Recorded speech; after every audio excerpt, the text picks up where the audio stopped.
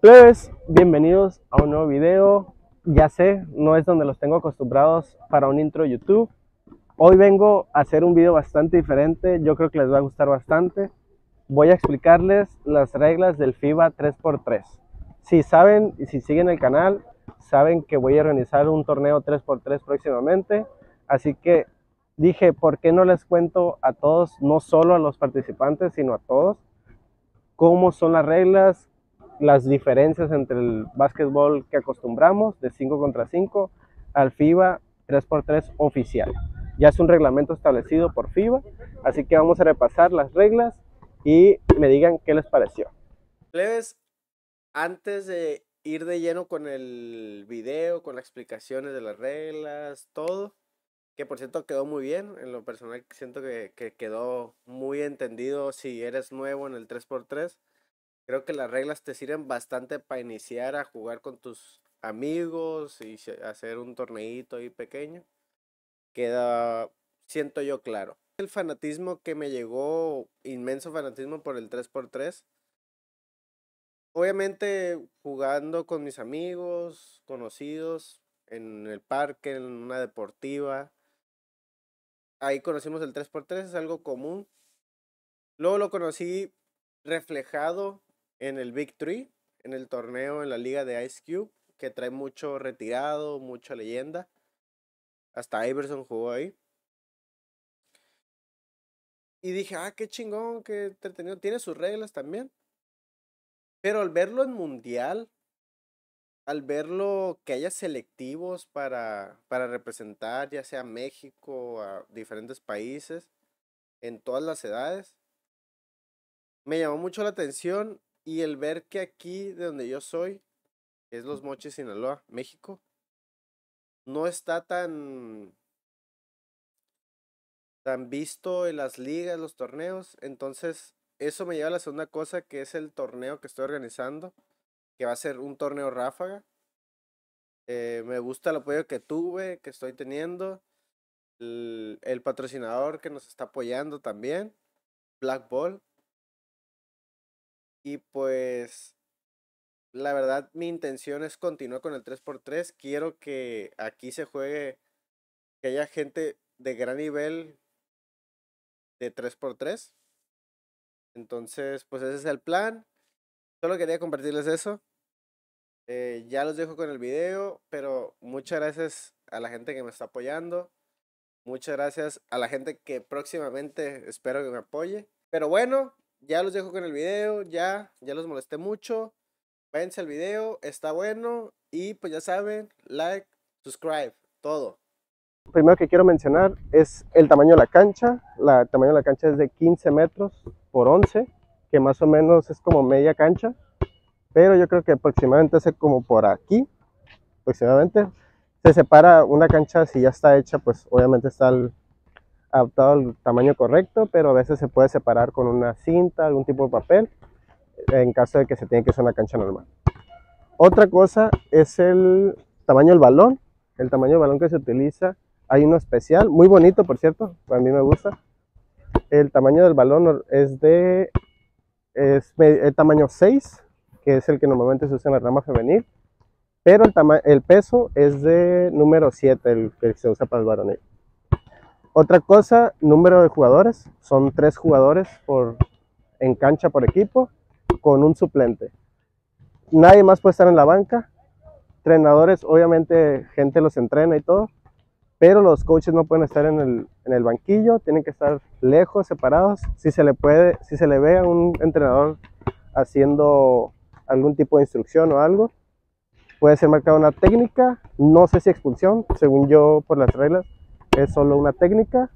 Para iniciar un partido se eligen los dos capitanes, hay un volado entre los dos capitanes para decidir quién hace el saque. Entonces ya se toma el volado, el equipo tiene que sacar desde, desde aquí, tiene que pasárselo al defensa y el defensa se lo tiene que regresar. Cuando hay un parón de juego, cuando hay una falta y se quiere reanudar el partido, árbitro se la entrega al, defensa y el defensa se la tiene que regresar y en cuanto tenga el balón en sus manos el ofensivo, inicia la jugada. Tienen 12 segundos, esa es la que dura la posesión.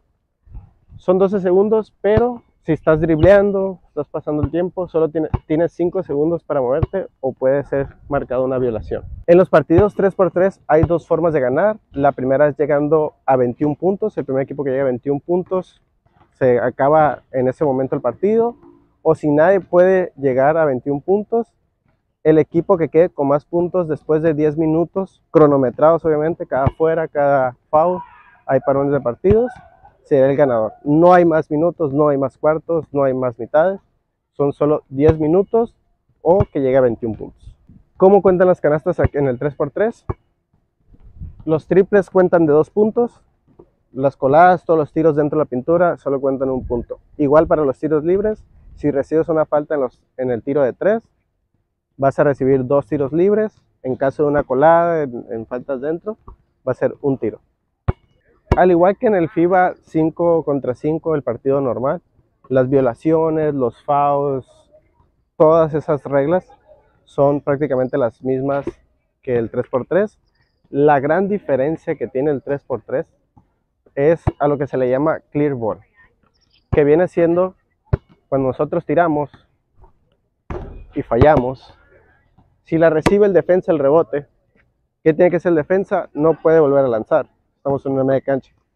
Tienen que salir de la de tres puntos. No puede salir con un solo pie y volver a entrar. Se le va a marcar violación. Tienes que salir y si, con los dos pies o bien levantar el, otro pie y ya puedes atacar el lado. En cuanto ellos reciben el balón, el rebote, empiezan sus 12 segundos. Entonces tienen 12 segundos para salir al tiro de 3 y regresar a atacar el aro. ¿Qué pasa cuando alguien anota? Si alguien anota, si alguien anota, el defensa tiene la media luna, aquí no hay media luna, la media luna, media luna que tenemos aquí abajo del aro, tienen ese espacio para, para poder sacar el balón. Ningún defensa ningún atacante que se volvió defensa puede robar el balón si está dentro de la media luna. En el momento que él sale la media luna, ya puede perder el balón, se lo pueden robar, le pueden interceptar el balón. Entonces, la misma, gana la canasta, tienen para sacar. Pueden salir con un pase, pueden salir votando, ya eso ya es decisión del equipo. ¿Qué pasa cuando alguien anota? y nadie la toca. En caso de que salga, que caiga, anote el balón y salga afuera, se va a iniciar de nuevo desde arriba, como tal, como cualquier fuera. Obviamente para el equipo que ya se volvió atacante. ¿Qué pasa si entra el balón y bota para este lado? El atacante que se volvió defensa no puede tocarlo, para nada puede tocarlo, tiene que esperar que los defensas que se volvieron atacantes agarren el balón para intentar robárselo. Si nadie lo toca, el equipo puede recibir una penalización en caso de no querer poner en, en juego el balón. Así que, pues el ofensivo está obligado a tomar el balón o a recibir una técnica. El defensa, por ninguna razón, aunque se venga hasta acá, el defensa no puede hacer nada va a ser totalmente problema del ofensivo. Otra gran diferencia en el 3x3 es las faltas. ¿Cómo se acumulan las faltas? Aquí en el 3x3 no hay faltas por jugador, no se cuentan por jugador, se cuentan solo al equipo. ¿Cómo es? Las primeras seis faltas normal, si es en intención de tiro va a ser el tiro que, que corresponda de uno o de dos. Si es una falta en un choque, se marca totalmente normal. ¿Qué pasa a partir de la séptima falta? De la séptima a la novena falta, lo que pasa es que vas a tener dos tiros libres donde sea que suceda el foul. A partir de la décima, lo que va a pasar va a ser dos tiros y posesión. Así que la verdad, a partir de la séptima falta es, perjudica bastante. Entonces, mucho cuidado con los fouls. Como dije temprano en el video, no hay coaches en los banquillos, solo va a estar el suplente y nadie más. Los dos equipos tienen permitidos un tiempo fuera, entonces, ¿quién lo puede tomar? Lo puede tomar quien sea del que esté en, el partido o ya sea el suplente. Quien sea puede tomarlo.